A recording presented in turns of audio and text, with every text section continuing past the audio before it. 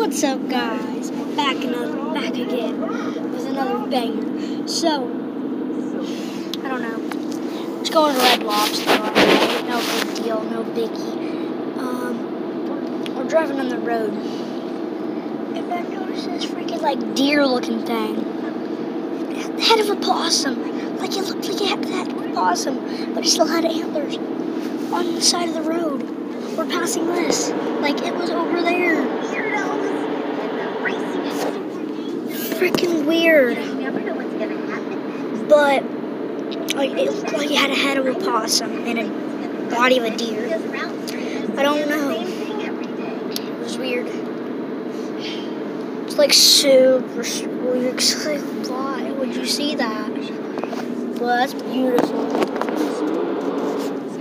I don't know if you guys can see that, ooh, that's nice. That's cool. Where the green blends in with the yellow and orange. But comment if you know what a thing with like the body of a deer, head of a possum with the antlers of a deer. See ya.